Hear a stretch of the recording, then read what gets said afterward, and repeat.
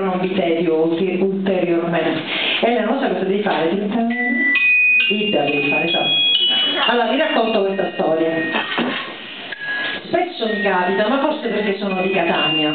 A Catania noi ci prendiamo il nostro tempo, ma questa cosa non è vista molto bene perché non crea profitto.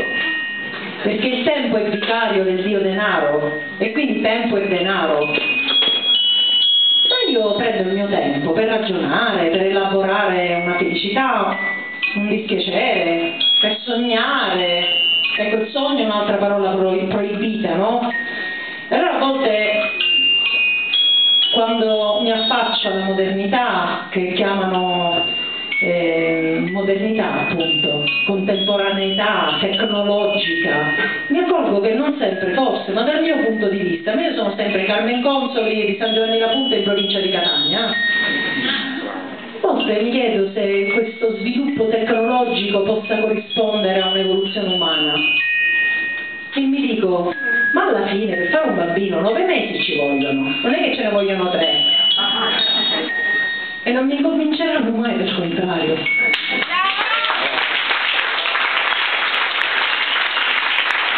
Allora mi chiedo dove arriveremo, visto che in nome di questo progresso stiamo distruggendo il nostro pianeta e le previsioni anche di pensatori fisici e grandi geni come Stephen Hawking sono che ridurremmo questo pianeta proprio al buio. E,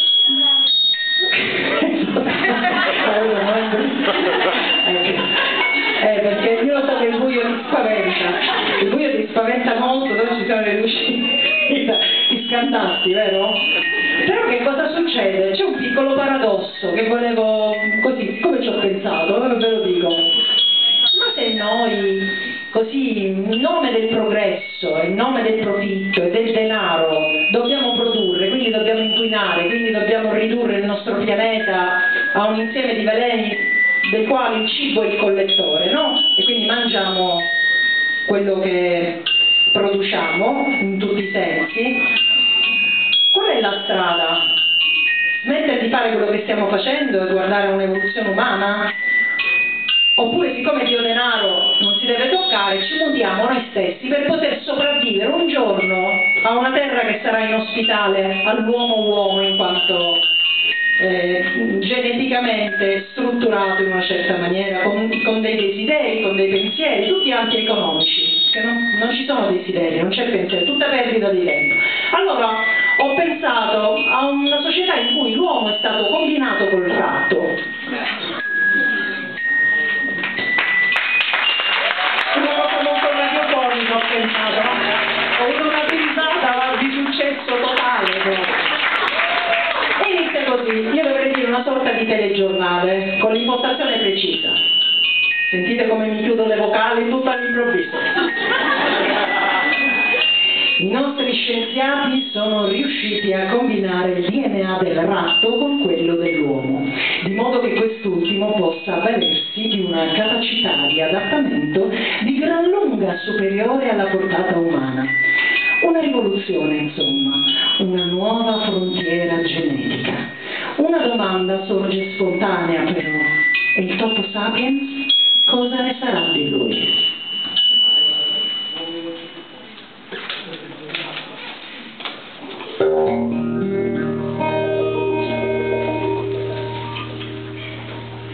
L'idea altri hanno di noi non è un dettaglio trascurabile, l'assenza d'opinione L'agitosi endemica signora il suo pregiato coquet sta pisciando sui sacchi della miei per precisione mi scuso se in qualche modo ho intralciato l'operazione.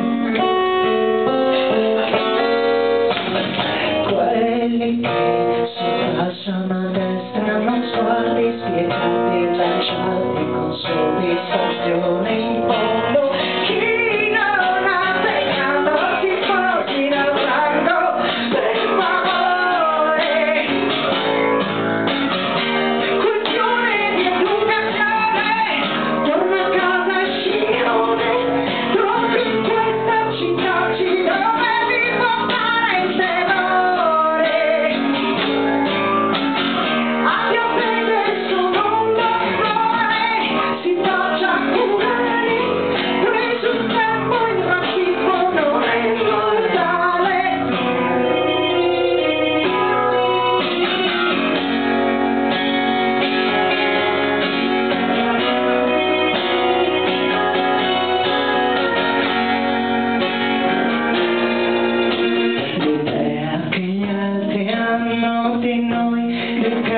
pionero.